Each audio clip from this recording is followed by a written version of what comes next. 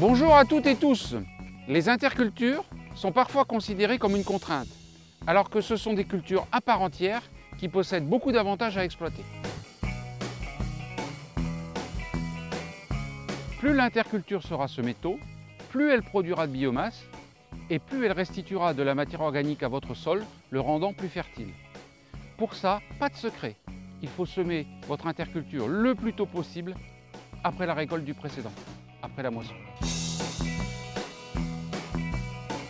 Les couverts végétaux d'interculture permettent également de fixer du carbone, d'améliorer la structure du sol, de favoriser la biodiversité.